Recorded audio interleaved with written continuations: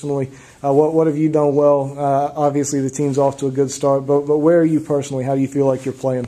Um, I think I'm doing pretty good. Um, hitting wise, I'm struggling a little bit. I've been streaky.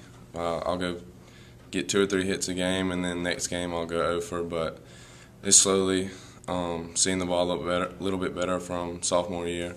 Um, I want to improve on that, but I think defensively I'm doing a lot, really good actually defensively. Um, but hitting, I definitely want to start getting more productive every game instead of you know every other game. Yeah, how, how does that happen? How do, how do you become a little bit more consistent? What do you need to change? I think just when I'm in the cages hitting, focusing more on you know each and everything from tee work to soft toss, and um, just focusing more when I'm doing the little things. Okay.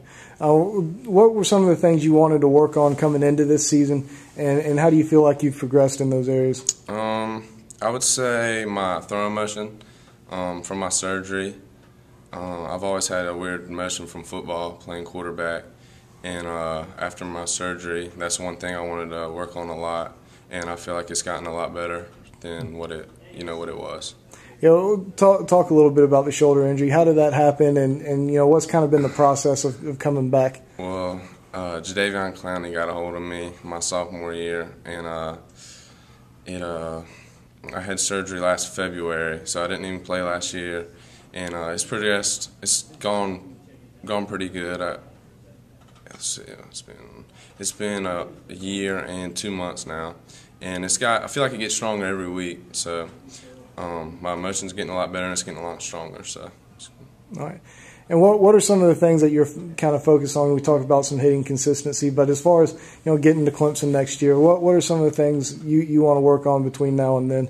Uh, I definitely want to get faster.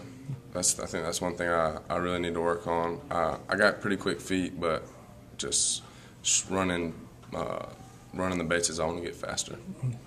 And we, we talked a little bit about Clemson. Kind of tell us how the recruiting process went for you. I know it's been over for a while and you're signed and, and ready to go, but well, take us back to the rec- recruiting process for you. Um, I would say it started.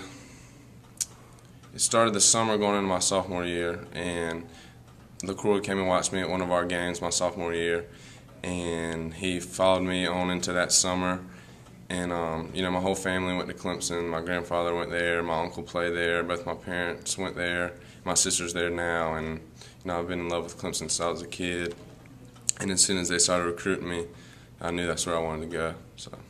Uh, and what kind of interaction have you have you had lately with the coaches? What what have they had to say to you about you know what they expect to see out of you this year, and and then and more importantly next year at, at, Clemson? Well, they're really just encouraging me to uh, keep working on my arm strength, keep keep getting you know just my feet back under me and everything I do because you know taking a year off it was kind of hard, and they're just being really encouraging to you know getting back to the basics and just having fun, getting my arm strength back.